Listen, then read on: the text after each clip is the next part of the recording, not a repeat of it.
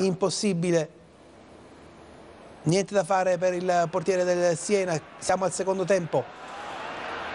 C'è il cross al centro interviene Osvaldo di testa in splendida solitudine.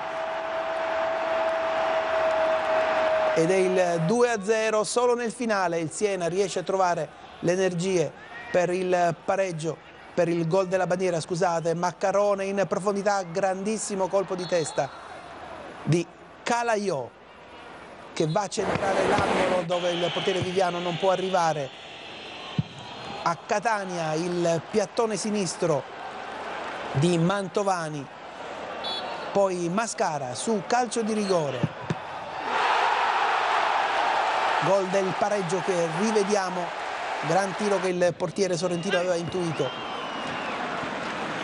Poi Marcolini che aveva sbagliato il calcio del rigore del possibile 2-0 trova un gol fantastico. del parere che con il Chievo è meglio giocarci in casa che, in fuori, che non in fuori casa. La tua profezia si è avverata perfettamente, qui siamo a Genova dove la squadra rossoblù passa in vantaggio con che questo grande. bellissimo gol di Palladino.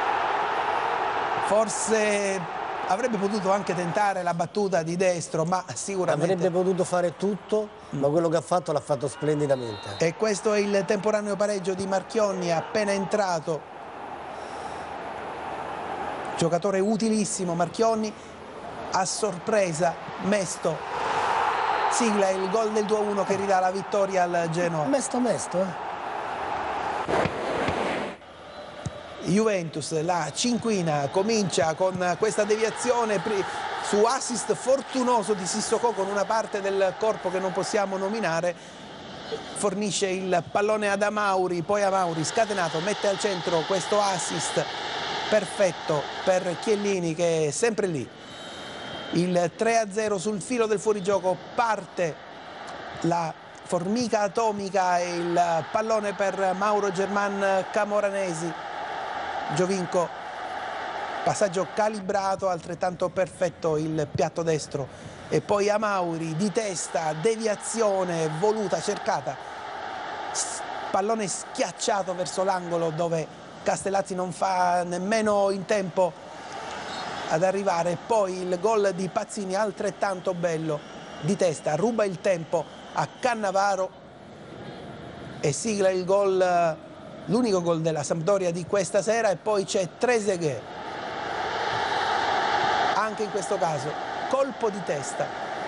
Pallone calibratissimo.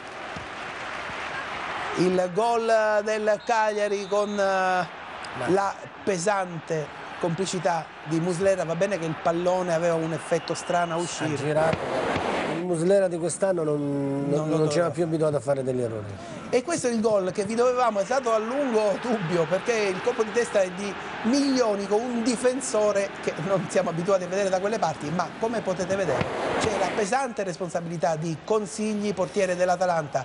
Qui siamo al Napoli-Milan, Inzaghi in apertura, il sinistro al volo, senza pietà verso De Santis. Poi azione con ben tre assist. Alla fine Pato si trova solo davanti a De Santis e lo batte con eh, questo tiro estremamente preciso. Poi la riscossa del Napoli con questo fantastico sinistro di Cigarini. Che spot oggi per il calcio italiano. E qui proprio al 95esimo Maggio mette al centro questo pallone German Dennis va a trovare un angolo che fa esplodere lo stadio San Paolo di entusiasmo. Il Parma Boginov guardate un po' una bomba di sinistro che va a togliere le ragnatele nel set della porta di Gillet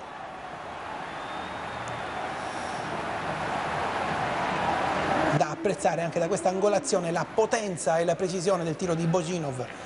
Poi Paloschi, controllo, si gira e trova un tiro che beffa il portiere, ma forse c'è la, devi la deviazione di un difensore.